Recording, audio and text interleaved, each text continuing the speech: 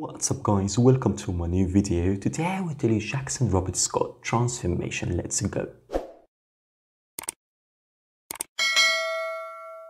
Today we talk about famous young actor named Jackson Robert Scott. He became famous after popular TV series named Locke and Key.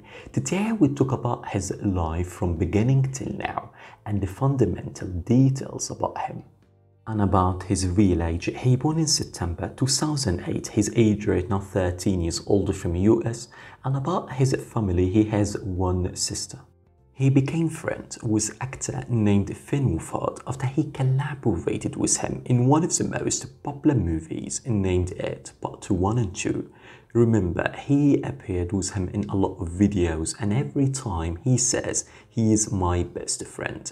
In 2015, he started his acting career after he collaborated in one episode in TV series named Criminal Minds.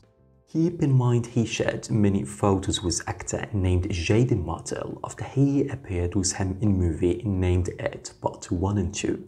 In 2019 he played Rolf Miles in movie named The Prodigy. Also this movie became so popular. He became friends with actor named Jack Dylan Grazer. Keep in mind he's also famous actor and about his popularity. Now he has more than 1 million followers on Instagram. His real success after he played the main role in TV series named Locke and Key. Also the series gained huge views and popularity. After that he became friends with actor named Connor Jessup and more details about him his famous actor and model. Recently he appeared in movie named Gossamer Folds but we do not about his role.